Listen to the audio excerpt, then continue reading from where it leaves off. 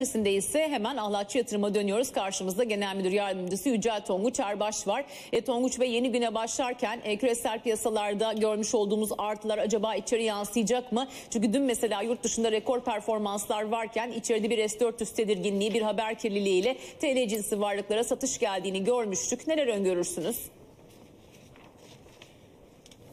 Evet Zeynep e, doğru söylüyorsun, haklısın. Yani haftaya çok yurt dışı piyasalar pozitif başladı. E, bunun tabii odağında e, Çin'le Amerika'nın hafta sonu gelen haberlerde hatta bugün de görüyoruz ki hala NATO görüşmeleri öncesinde anlaşmaya en azından ilk adımı atmaya e, yeni yıl gelmeden çok yakın oldukları görüşü. Bu da tabii özellikle riskli varlıklara yönelişin e, işte borsalardaki yeni zirvelerin veya e, yükseliş hareketinin devam etmesine neredeyse e, tüm dünya genelinde devam ediyor. Ben bugün de e, açıklanacak Amerikan verileri dahilinde e, nispeten biraz da hafta sonuna doğru işte bir, bir buçuk günlük bir Amerika tatili olmasına rağmen bu olumlu görüntünün yurt dışında da bir nebze daha devam etmesini aslında bekliyorum. Tabii Türkiye'de hem TL varlıkları hem Borsa İstanbul biraz daha e, negatif bir ayrışma içerisinde. Yani baktığımızda bu kadar e, olumlu gelişme içerisinde Borsa İstanbul'un da 108 binli seviyelere doğru hareketi sonrası belki de biz de yılı 110 e, binli seviyelere çok yakın bir yerlerde kapatabilirdik ama e, bizim dünkü e, haber akışımız ve özellikle bugüne de sarkan haber akışı biraz daha tahmin ediyorum bankacılık sektörü üzerinde hem Yapı Kredi üzerinden hem Halkbank üzerinden belki bugüne özel hem de işte Amerika ile daha önce yaşadığımız bazı sorun yaşadığımız sıkıntılardaki konu başlıklarından biri olan S-400 meselesinin e, dün denemelerinin gerçekleştirilip gerçekleştirmediği, buna yönelik e, bazı risklerin yeniden Türk-Amerikan ilişkilerinde e, oluşabilecek işte risklerin de piyasa üzerindeki etkilerini görebileceğimiz gibi bir algı oluştu.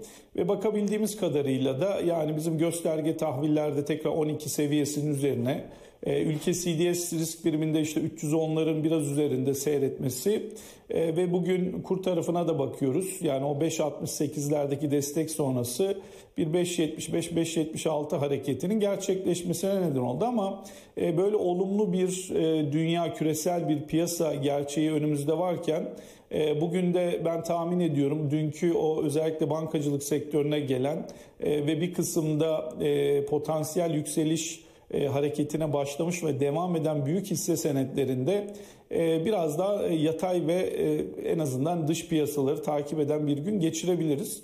Dolayısıyla 105 bin seviyesi hatta 105 bin 500'ün altında Borsa İstanbul'da bir kapanış yaşamamıza rağmen 105 bin seviyesi net bir şekilde aşağı kırılmadan e, o tekrar yaşayabileceğimiz 2000-2500 puanlık aşağı yönlü potansiyelin e, şu an için biraz uzağında olmamız gerektiğini düşünüyorum. Tabii yeni bir haber akışı gelmezse.